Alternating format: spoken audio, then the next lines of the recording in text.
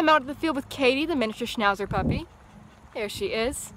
And today we're working on her off-leash skills, including the off-leash heeling you're seeing here, uh, some long-distance recalls, some long-distance stays, all off-leash. You can see, only thing in my hand is the remote for the e-collar. That's the only thing that will give her any direction.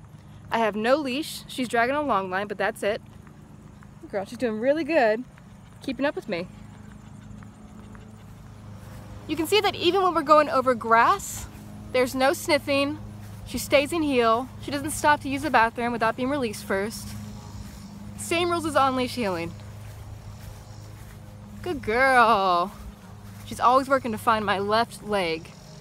Good girl looking at it. Very nice. Good job auto sitting when I stop. Very nice. Heel. And starting with me again when I tell her the magic word, that is heel. Good girl.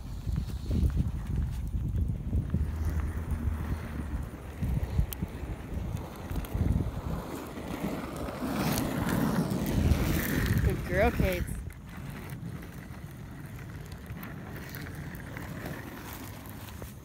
Good girl.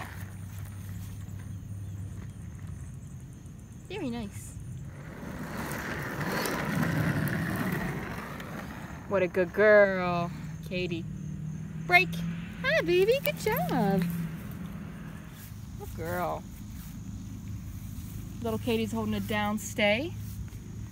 When she's in a down stay or a sit command, it means she can't move until she's released. No matter what I do, I can do jumping jacks, I can scream, I can run away. She should stay. Hi! Hey! Hi, sweetie. Hi! Good girl. Good girl. She should stay there until I say the magic word, break, or if I call her. Come. Good girl. And then she should sit. Very nice job, baby. Very nice. Break. Break, Cadie. Good girl.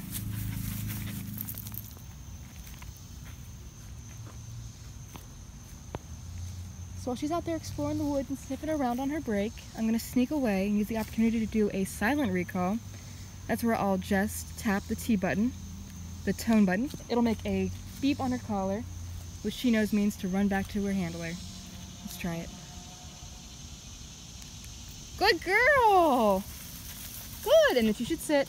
That's very nice. Cadie, nice job. Break. All right, Cadie's holding a nice sit stay about 20 feet away from me in the woods. Lots of distractions. And I want to use this opportunity to show you our recall pattern. So I'll simply say C-O-M-E, nice and loud, loud enough for her to hear that far away over the uh, locusts. Right, right after I say that word, I'm going to tap the tone button, that T right here. It's going to make a, make a beep on her collar. When she starts to head to me, I'm going to tell her, good girl, good girl, good job. I'm going to praise her excitedly to get some movement. When she gets to me, right at my feet, I'm going to be quiet. She should sit down right there. And I'll tell her again, good girl. Let's try it all together. Come. Good girl. Very nice. Good job. Sit. Good girl. It's okay that she needs some reminding here and there. Because the more we do it, the more she's going to pattern it as the normal behavior. You're such a good girl. Cadie, come. Good. Sit. Good job.